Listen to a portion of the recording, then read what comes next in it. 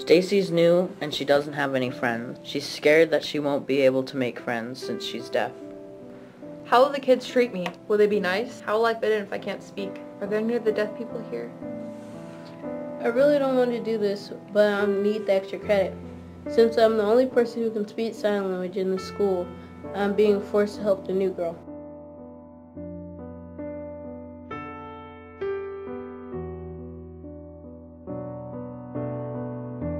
They got to know each other.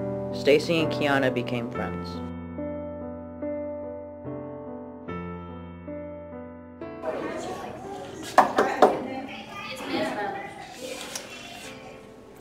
This is our new student, Stacy. She's partially deaf and she can read lips. Hi, Stacy. Welcome to our class. At what rate do all objects fall? Yes.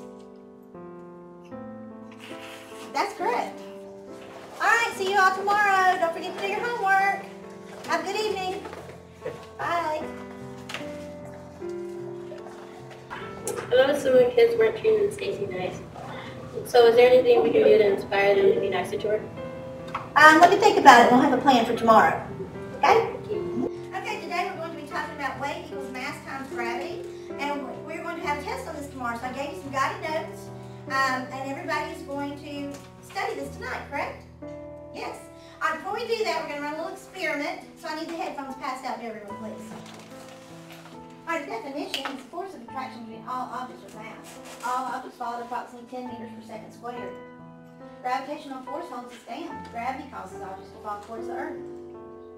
The force of gravity acting on an object is weight equals mass times acceleration due to gravity. What does W equal? Yes.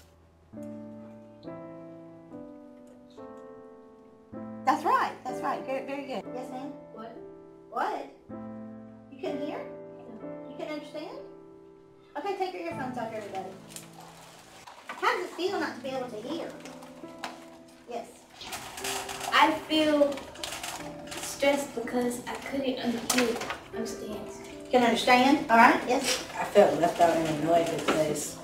I didn't know what was going on. A different perspective. Some people have challenges or obstacles that they face every day. I hope this experiment will inspire you to see the world from another person's point of view. The class learned of the struggles of having a disability, but many others don't. People need to learn not to judge others and embrace them.